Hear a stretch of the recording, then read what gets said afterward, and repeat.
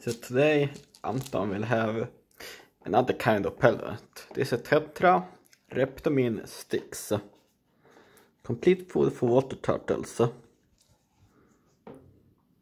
As you can see, 36 protein. So remember what I said before. Um, only feed a turtle one time a day if it's one under one years old and if it's older than one year like Anton only every other day. So he can eat uh, greens uh, like salad uh, but Anton he, he refuses to eat it. Um, yeah. But he has a good also this is the good tips also. Uh, you can see Anton he's hungry and he's eating. Um, your turtle should always be very hungry and wanting to eat when you feed him.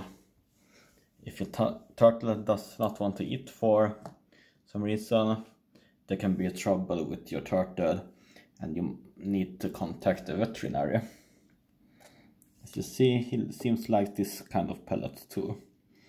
This is a Reptomin sticks look like this and I put them in the calcidus powder of course. As you can see Anton he enjoys this powder very much. It will give him calcium. And calcium is of course so very important for turtle. Because of turtle bones and because of turtle shell is also made out of bones so I will let Anton finish this meal, but I will log off now. Uh, I will give him a few more sticks, uh, but I need to save some uh,